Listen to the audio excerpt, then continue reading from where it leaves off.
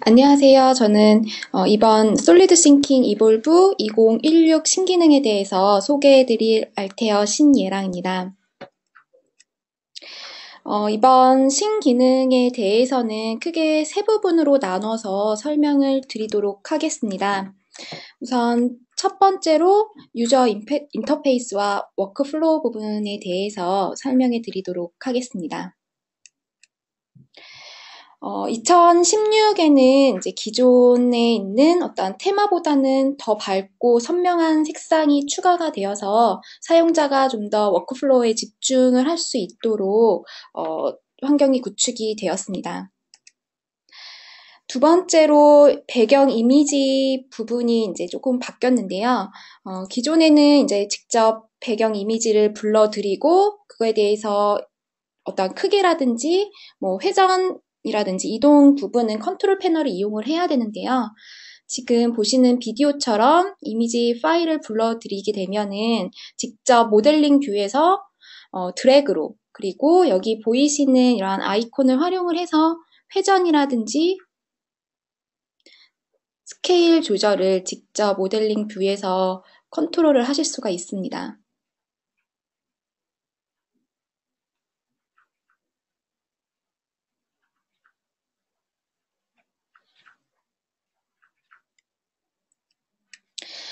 두 번째로 모델링 피드백이라는 부분이 들어왔는데요. 어, 기존에 어떤 기능을 수행하는 데 있어서 어, 기능을 실패한 경우에 어, 별다른 이유 없이 그냥 빨간색으로 이제 보이게만 됐었는데 어, 이제 모델링 피드백 부분이 추가가 됨으로써 어떠한 부분에서 실패가 이루어졌는지 이유에 대해서 좀 더 상세하게 나와져 있는 상황이고요. 그런 부분을 파악을 하시고 바로 지금 보시는 것처럼 수정을 원활하게 하실 수가 있습니다. 세 번째로 스냅샷 기능이 들어와 있고요. 어, 스냅샷 기능은 지금 보시는 것처럼 이제 3D 뷰가 보이는 현재 그 view를 기준으로 이미지 캡처를 하실 수가 있고요.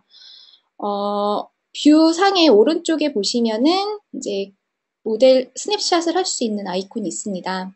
그래서 그러한 아이콘을 누르시고 실질적으로 실행 버튼을 누르게 되면 이미지 브라우저에 지금 보시는 이러한 이미지가 저장이 되고요. 그 내에서 뭐 확대, 축소, 조절을 하셔서 자세하게 보실 부분들은 확인을 하시고요. 그리고 음, 때에 따라서 이제 이러한 캡처된 이미지의 이제 백그라운드를 사용자가 컨트롤을 마찬가지로 하실 수가 있습니다. 그거는 지금 오른쪽에 보시는 컨트롤 패널 내에서의 어떤 백그라운드를 원하는 색상을 선택을 하시고 지정을 해주시면은 그것이 반영이 되어서 어, 스크린 캡처를 하실 수가 있고요. 다음으로는 이제 어, 카메라 컨트롤 부분입니다. 그래서 카메라 컨트롤은 앞에 보시는 snapshot이라든지 또는 어떤 렌더링 하는 데 있어서 불필요하게 이제 움직임을 제한을 하실 수가 있습니다. 한마디로 이제 이동을 locking을 한다라고 보시면 될 것 같고요. 그렇게 locking을 하게 되면은 지금 현재 보이는 이 3D 뷰상에서 어, 움직이실 수가 없도록 이제 고정이 된 상태라고 생각하시면 되겠습니다.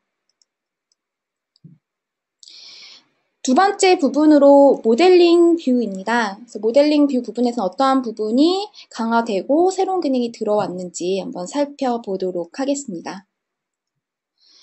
어, 첫 번째로 음, 회전의 시작 포인트 부분입니다. 기존에도 당연히 회전에 대해서 당연히 수행을 하실 수가 있었고요. 단지 새로운 기능은 이제 내가 원하는 시작 지점을 지정을 하실 수가 있습니다. 지금 보시는 것처럼 저기 보이시는 핸들을 이용을 해서 내가 원하는 지점을 클릭을 하고 그것을 이용을 해서 어, 스트레이트하게 일렬로 정렬을 하시는데 활용을 하실 수가 있습니다.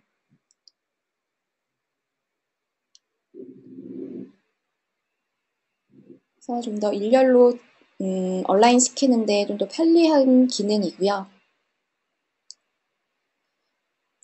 음, 두 번째로는 이제 loft의 자동 정렬이라는 기능이 새로 들어왔습니다. 그래서 어, 로프트 아이콘으로 접근을 하실 때 바로 그냥 클릭을 하지 마시고 컨트롤 키를 누른 상태에서 로프트 아이콘을 누르시게 되면 바로 이제 자동 정렬이라는 기능으로 들어가게 되고요. 어, 기존에는 이제 loft라는 기능이 profile 커브와 이런 레일 커브가 서로 연결이 되어서야만 이제 loft가 제대로 실행이 됐는데 현재 이 자동 정렬 기능으로 들어가게 되면은 서로 연결이 되지 않더라도 지금 보시는 것처럼 일단 surface를 어, 내가 원하는 그 profile과 레일에 맞게 만드실 수가 있습니다.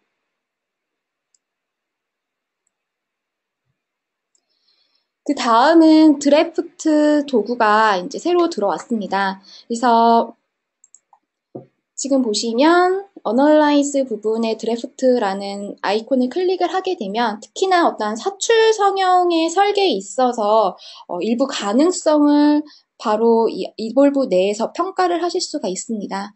그래서 어떠한 pulling되는 이러한 direction을 확실하게 설정을 해주시면은 어떠한 negative한 어떠한 어, 드래프트 또는 positive한 draft 이러한 것들을 미리 확인을 하실 수가 있습니다. 어, 다음으로는 커브 교차 도구입니다. 어, 기존에 있는 어떤 교차 도구가 좀 더 강화되었다라고 보시면 될 것 같고요. 우선은 먼저 교차되는 커브를 생성을 하고요. 그리고 이제 교차 도구에 들어가게 되면 어, 제가 선택한 이 세 개의 커브에 대해서 자동으로 교차되는 그 포인트 지점을 확인을 하실 수가 있고요. 그리고 체크 하나만으로 이제 내가 어, 그 이 커브에 교차되는 어떤 윤곽을 쉽게 컨트롤 하실 수가 있습니다.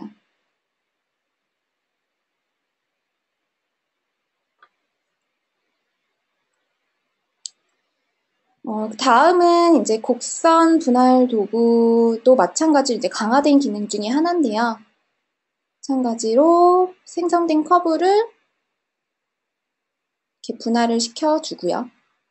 이러한 분할된 커브들이 이제 오른쪽에 보시는 이런 construction history에 하나의 어, 묶음으로 생성이 되면서 얘에 대해서 이제 interactive하게 이런 핸들들을 사용을 해서 쉽게 이제 수정을 하실 수가 있고요. 지금 보시는 것처럼 뭐 핸들을 직접 뭐 translate를 시켜서 이동을 해서 이렇게 수정을 쉽게 하실 수가 있겠죠.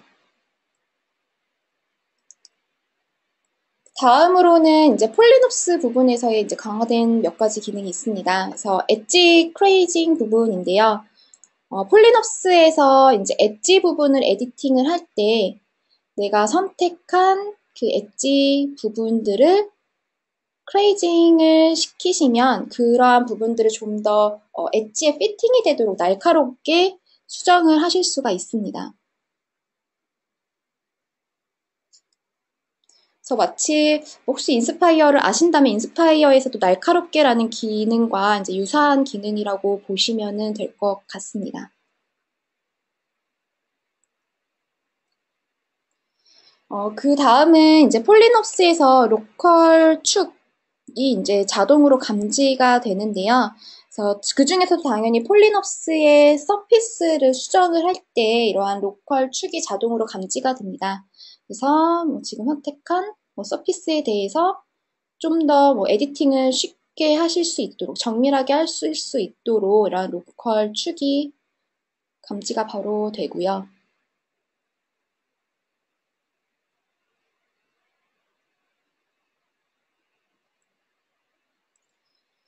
그리고 그 다음은 이제 advanced selection 부분입니다. 어, 특히나 이제 surface에 있어서 다수의 어떠한 surface를 선택하는 데 있어 어, 선택을 advanced 모드로 들어가시게 되면 내가 어느 방식으로 어떻게 다수를 선택할 것인가를 핸들을 통해서 조절을 하실 수가 있습니다. 쉽게 한 번 뭐 클릭만으로 핸들 한 번 클릭만으로 다수를 이렇게 쉽게 선택하고 그거에 대해서 에디팅을 하실 수가 있고요. 마찬가지로 이런 핸들들을 이용을 해서 다수를 선택을 하는 방법을 보여드리고 있습니다.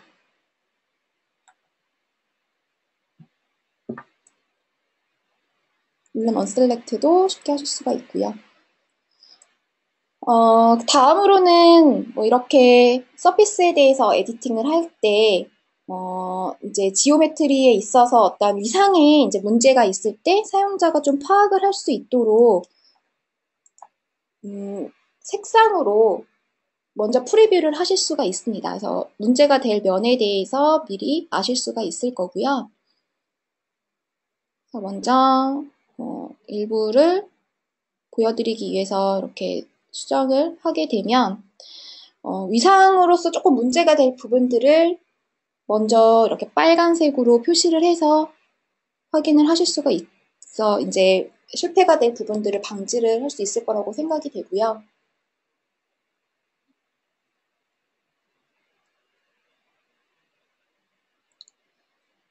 음, 그 다음은 이제 뭐 렌더링 부분입니다. 어, 렌더링에 있어서는 이제 어, 환경 맵이 강화가 되고 당연히 추가가 되었고요. 지금 보시면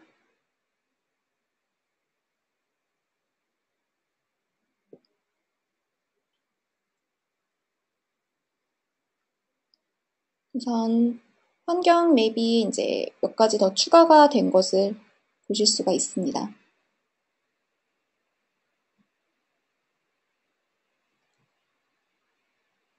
그리고 이러한 것들을 그라운드를 쉽게 체크만으로 사용자가 조절을 하실 수가 있고요.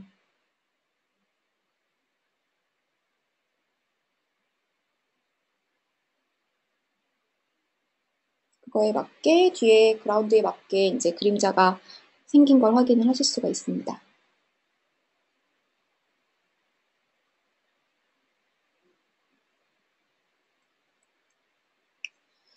다음은 이제 새로운 재료가 몇 가지가 추가가 되었습니다. 그래서 탄소 섬유 부분들에 대해서 모사를 할 수 있도록 재료가 추가가 되었고요. 그리고 그 이외에도 이제 새로운 질감의 금속 등과 같이 좀 정밀한 텍스처를 표현이 되도록 여러 가지 재료 라이브러리가 강화가 되었습니다. 지금 보시는 것처럼 탄소 섬유가 추가된 것을 확인하실 수가 있고요.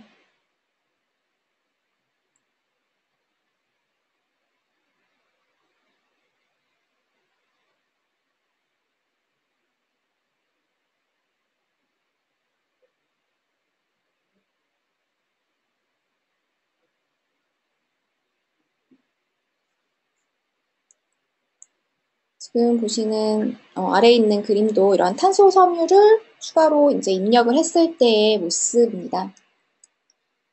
그리고 여러 가지 뭐 렌더링에 저 2016을 사용을 한 렌더링의 예제고요. 그리고 뭐 기존에도 아시겠지만 이제 뭐 불러드리는 부분 그리고 저장할 수 있는 부분 그리고 저희가 제공해드리는 뭐 랭귀지 부분, OS 부분은 어, 다음과 2016에서는 다음과 같습니다. 뭐 그 이외에도 뭐 저희 제가 앞서 설명드렸던 solidThinking에 대한 부분들에 대해서 어 설치라든지 이런 문의들이 몇 번 있었는데요.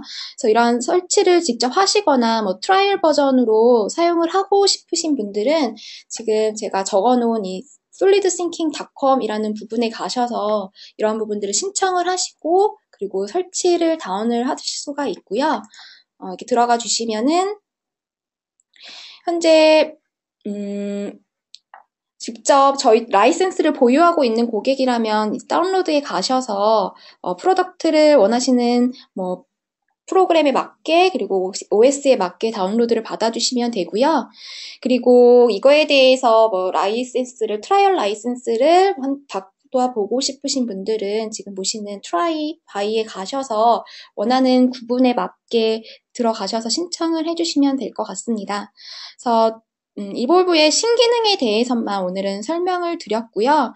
관련해서 추가적인 문의사항 있으시면 언제든지 저희 쪽에 연락 주시면 될 것 같습니다. 그래서 Evolve에 대한 신기능 소개는 여기까지 하도록 하겠습니다. 네, 수고하셨습니다.